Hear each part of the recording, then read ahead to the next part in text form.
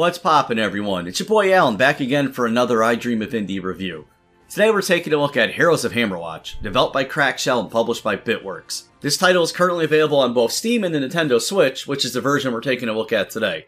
With what has been classified as an action-adventure roguelite with online and couch co-op, this title features procedurally generated dungeons and a persistent progression system as you choose from one of nine classes to take out into the world to revitalize your town and eventually tackle the Forsaken Spire.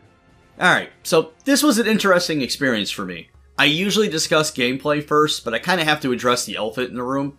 Most of us, if not all of us here at I Dream of Indie, love a good retro aesthetic. That being said, there's a right way and a wrong way to do the 8-bit style, and in my humble opinion, this game is just ugly.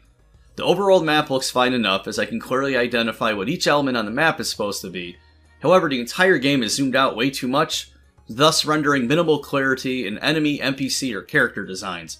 This became more of a distraction in the dungeons as I couldn't tell what was health, what was ore, what were enemies, what were diamonds, or what the hell anything really was until I ran into them. Honestly, from a visual standpoint, this game is just kinda ugly, and really unimpressive to me. The sound design was good, I'll give the game credit where credit is due, and between the music and the sound effects, this title took me back to the days of Apogee and Sierra, and my friends, that is a great thing. I've played plenty of games I didn't dig the visuals on over the years, as well as there have been many well-polished looking AAA busts that can attest that graphics aren't everything. Typically, gameplay is the ultimate measurement for how good a game is. In this roguelite, you pick one of the nine classes. While all of them have distinct abilities, they all pretty much feel the same. Just spam weapon attacks or mana attacks as you plow your way through each run trying to collect as much loot as possible.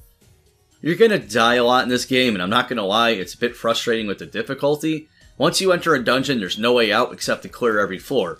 At level 1, this is not possible, so your goal early on becomes to collect as much pixelated loot as you can, and drop it off in a dumbwaiter located somewhere at random on each floor in order to save your haul. Then you find the exit to the next floor and repeat. You get one potion per dungeon with potential to recharge it at specific spots that spawn at random or not at all. As you progress more and more, enemies will spawn at higher rates, and you quickly are overrun and killed. You lose any items that you are carrying, however you keep your level progression. This loop continues on over and over until you earn enough items for an upgrade or gain sufficient levels to clear the dungeon with ease. Don't forget to constantly find a dumbwaiter on each floor or everything you collected fades into the ether. This is essentially the gameplay loop, and whether or not the near endless loop of grinding, sending items back to town, dying it, doing it all over again sounds like fun to you or not will dictate whether you enjoy this game. If you couldn't tell, I really didn't. I'm not one for having to spend hours of setup to just enjoy a game. There should be reward and enjoyment during the setup time instead of having to spend immense amount of times grinding on an unfulfilling loop just to reach a point where the challenge versus reward feels balanced and enjoyable.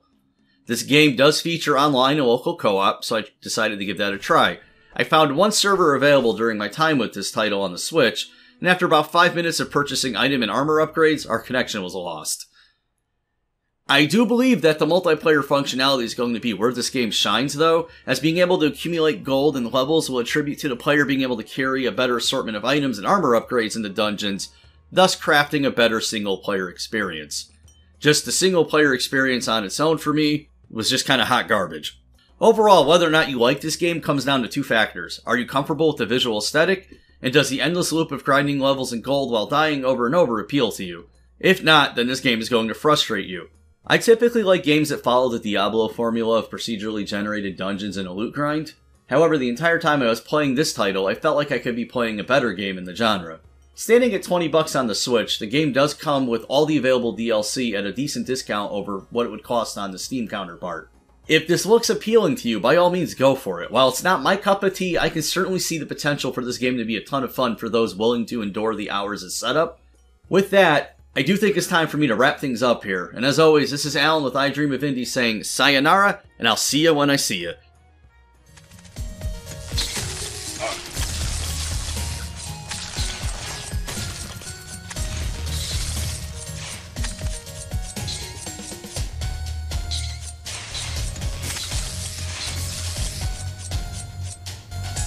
What's up, everybody? It's your boy Alan. I want to thank you again for tuning in to another one of my videos. You can help support I Dream of Indie's mission statement to bring a voice to the voiceless in gaming by subscribing to the channel, hitting that bell icon, consider becoming a member, and if nothing else, check out another one of our videos.